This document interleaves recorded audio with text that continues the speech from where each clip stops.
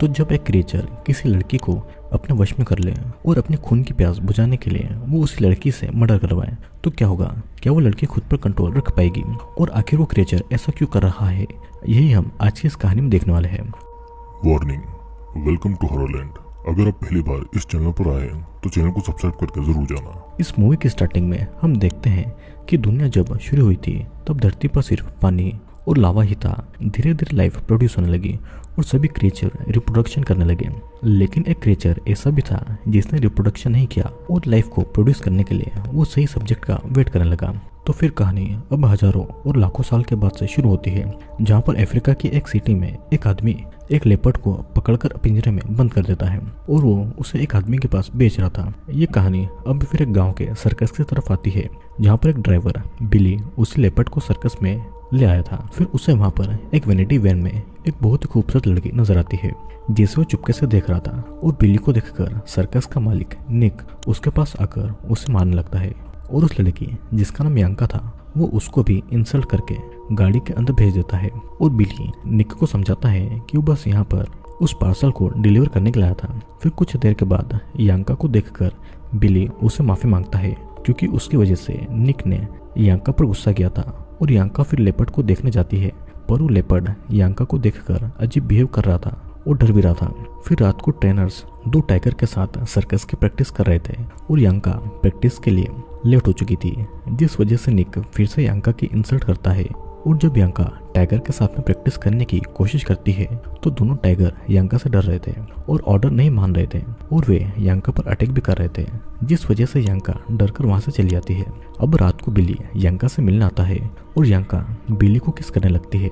निक की आवाज़ सुनकर बिल्ली वहाँ से चला जाता है, लेकिन निक यंका को देखकर ही समझ जाती है कि वो क्या कर रही है और इसलिए निक गुस्से में यंका को थप्पड़ मार देता है। फिर रात के समय यांका सो रही थी और निक काम कर रहा था, तभी उसे बाहर से कुछ आवाज़ें सुनाई देती है। निक बाहर जाकर देखता है तो बाहर लेपट के पिंजरे के पास ट्रेनर रो रहा था। और ट्रेनर के मुताबिक लेपर्ड खुद वहाँ खुद ब खुद एक्सप्लोड हो चुका था। और लेपर्ड की ऐसी हालत किसने की, ये जानने के लिए सर्कस के सभी लोग फिर वैन में सो रही यांका को इस बारे में कुछ पता नहीं था। और सो रही यांका के पास एक अजीब क्रेचर आता है और वो उसके प्राइवेट पार्ट में घुस जाता है और दर्द की वजह से यांका अपनी नींद से उठ जाती है। अब अगली सुबह यांका की तबीयत बहुत खराब हो चुकी थी और उसको उल्टिया भी हो रही थी। डॉक्टर के पास जाने पर यांका को पता लगता है कि वो प्रेग्नेंट है और इसीलिए यांका अपना सामान लाकर सर्कस को छोड़कर वहाँ से दूर चली जाती है। अब किसी तरह यांका का पता लगाकर निक उसे मिलने जाता है, लेकिन यांका निक को चाकू से स्टेप करके मार डालती है और दूसरे रूम में चली जाती है। यांका के पेट में वही क्रेचर था जो कि यांका से बात भी करता है और वो क्रेचर यांका को ऑर्डर दे रहा था कि यांका अपने बॉयफ्रेंड निक का खून पिए। यांका उस क्रेचर की बात नहीं मानना चाहती थी तो खुद को चाकू से स्टेप करने की कोशिश करती है। लेकिन क्रेचर के कंट्रोल करने की वजह से यांका खुद को भी नहीं मार पाती है। और क्रेचर की वजह से यांका खून की उल्टियाँ करने लगती है और मजबूर होकर यांका को निक को कई बार चाकू से स्टेप करके उसका खून पीना पड़ता है। और फिर अपना सामान लेकर यांका वहाँ से जाने लगती है। रास्ते में यांका को एक होमलेस आदमी दिखाई देता है और वो क्रेचर यांका को उस होमलेस आदमी को भी मारकर उसका खून पीने को कहता है। यांका क्रेचर की बात नहीं सुनती है और पानी में जंप लगा देती है। लेकिन क्रेचर के कंट्रोल की वजह से यांका खुद को मार नहीं पाती है और पानी से बाहर निकल जाती है और दूसरी जगह अपनी जर्नी को स्टार्ट करती है।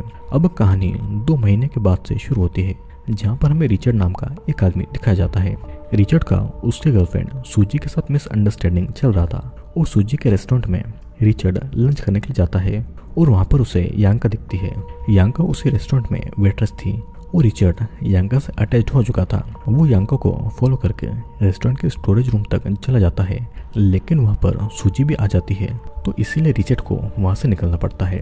अब रात को काम खत्म होने के बाद में वो क्रेचर किसी को मारने के लिए यांका को कह रहा था, और क्रेचर की बात मानकर यांका एक रेस्टोरेंट में जाती है, जहाँ पर यांका को रिचर्ड दिखता है।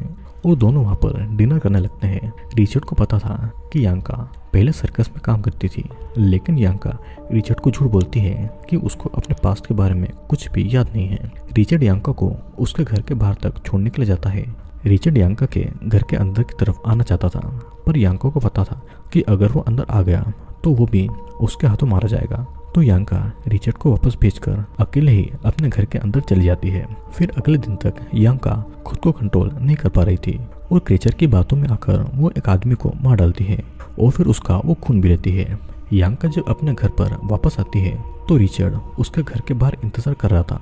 फिर उसी रात दोनों एक दूसरे के साथ में इंटीमेट होते हैं। फिर यांका किचन में सिगरेट पी रही थी और वो क्रेचर यांका को सिगरेट पीने से मना कर रहा था। यांका उस क्रेचर की बात नहीं मानती है और खुद को नुकसान पहुँचाने की कोशिश करती है और तभी वहाँ पर रिचर्ड आ जाता है और यांका को शादी के लिए प्रपोज करता है।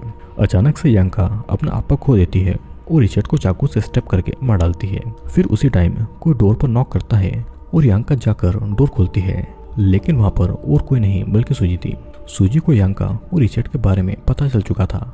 और सूजी जब किचन में जाती है तो यांका किचन का डोर लॉक करके सूजी और रिचर्ड को वहीं पर बंद करके उस घर में चली जाती है। अब कहानी फिर छह महीने के बाद आती है, जहाँ पर यांका का पेट बड़ा हो चुका था और यांका अब एक कैब की ड्राइवर थी। एक आदमी यांका की कार में बैठता है, पर यांका कहीं और ही कार को ले जा रही थी और इस वजह से वो आदमी भी डर रहा था। यांका को रास्ते में ही एक आदमी और दिखाई देता है, जिसके ऊपर यांका अपनी कार को चला देती है और कार से निकलकर उस आदमी को तब तक मारती है, जब तक कि वो आदमी मर न जाए। ये सारी चीज़ें वो कार में बैठा हुआ आदमी देख लेता है और डर कर कार से निकल जाता है। लेकिन एक ट्रक आकर उस आदमी को भी कुचल देता है।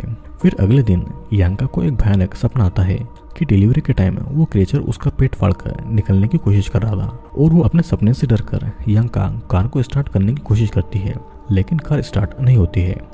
फिर कुछ टाइम बाद वहाँ पर एक मैकेनिक मार्क आता है और अचानक यांका मार्क के ऊपर ही खून की उल्टी कर देती है। मार्क किसी तरह एक कैब को रोककर उसमें यांका को बिठा देता है और कैब ड्राइवर को हॉस्पिटल जाने को कहता है। कैब ड्राइवर हॉस्पिटल की तरफ़ अपनी गाड़ी को ले जाता है और यांको को पता था कि वो किसी ह्यूमन बेबी को जन्म नहीं देगी। इसीलिए वो ड्राइवर को हॉस्पिटल जाने से रोकने लगती है। ड्राइवर का ध्यान भटकने की वजह से उस कार का एक्सीडेंट हो जाता है और ड्राइवर वहीं पर मारा जाता है।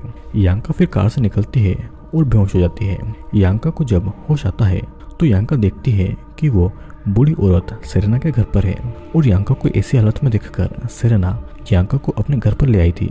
उसने उसी की देखभाल की थी। सेरेना ने एंबुलेंस को कॉल कर दिया था। और इस वजह से यांका सेरेना को जान से मारकर वहाँ से भाग जाती है। अब फिर यांका एक पार्क में रेस्ट कर रही थी और तब यांका के पेट के अंदर का क्रेचर यांका से कहता है कि डिलीवरी के बाद में वो सभी क्रेचर समंदर में चले जाएँगे और वो क्रेचर यांका को बस एक बार ह्यूमन ब्लड को पिलाने को कहता है।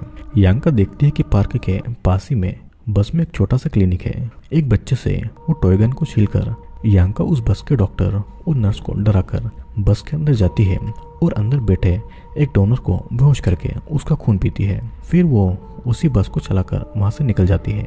यांका को फिर क्रेचर से पता चलता है कि डिलीवरी के बाद में क्रेचर जब समंदर में जाएगा तो वहाँ पर समंदर के पानी में वो मिलकर कई सारे क्रेचर बन जाएँगे और कुछ सालों में ही वो क्रेचर इंसानों को मारकर पूरी दुनिया पर राज करेंगे। अब कुछ टाइम के बाद बस में बेहोश वो डोनर होश में आता है और बस को रोकने के लिए यांका से लड़ने लगता है, जिस वजह से बस का एक्सीडेंट हो जाता है। फिर वहाँ पर दूसरी एंबुलेंस आती है और डॉक्टर यांको को बचाने की कोशिश करते हैं, लेकिन यांका के अंदर के क्रीचर की वजह से यांका फिर से ज़िंदा हो जाती है और डॉक्टर की बॉडी को वो एक्सप्लोर कर देती है। और एंबुलेंस के ड्राइवर को भी मार डालती है। अब उसी टाइम यांका उस क्रेचर को भी डिलीवर करती है। लेकिन यांका ये देखकर हैरान थी कि उसने एक नॉर्मल बेबी को पैदा किया था। फिर वो रास्ते से जा रही एक दूसरी गाड़ी को चुरा कर यांका अपने बेबी को लाकर वहाँ से जाने लगती है। फिर कुछ दूर जाकर यांका एक गैस स्टेशन में रुक जाती है। और गैस स्टेशन से बाहर आकर वो देखती है कि उसके बेबी ने एक आदमी को मार डाला है और असल में एक क्रेचर ही है जिसने ह्यूमन की स्किन पहनकर ह्यूमन बॉडी बनाने का नाटक किया था। उस क्रेचर को एक बस में जाता हुआ देखकर यांका भी उस बस के अंदर चली जाती है और क्रेचर को ढूँढने लगती है। फिर उस बस के लड़के यांका को देखकर उसके साथ में मिसबिहेव करने लगते हैं और तभी वो क्रेचर बस के ड्राइवर को पकड़ लेता है। यांका बस को संभालने की कोशिश करती है लेकिन बस एक जगह पर टकरा कर ब्लास्ट हो जाती है।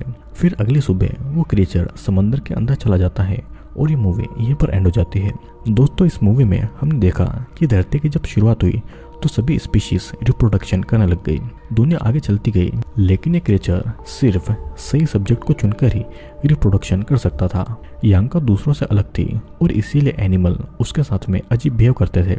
रिप्रोडक्शन करने के लिए क्रिएचर ने यांका को चुना जिसके बाद में यांका क्रेचर की गुलाम बन गई थी और क्रेचर के कहे अनुसार वो लोगों को मारकर उनका खून पीने लगी थी। वो क्रेचर ह्यूमन का ब्लड पी कर ज़िंदा रहता था और एंडिंग में क्रेचर समंदर के पानी में चला जाता है, जिसके बाद में समंदर के पानी के साथ मिलकर वो क्रेचर कई क्रिएचर्स में डिवाइड हो जाएँगे और कुछ सालों में वे सभी इंसानों को मारकर धरती पर उनकी जगह ले लेंगे। तो आई होप दोस्तों, आपको ये वीडियो ज़रूर पसंद आया होगा। दोस्तों वीडियो पसंद आया हो तो वीडियो को लाइक करके कमेंट ज़रूर करना। और अगर आप पहली बार मेरे इस चैनल पर आ रहे हैं तो चैनल को सब्सक्राइब करके ज़रूर जाना।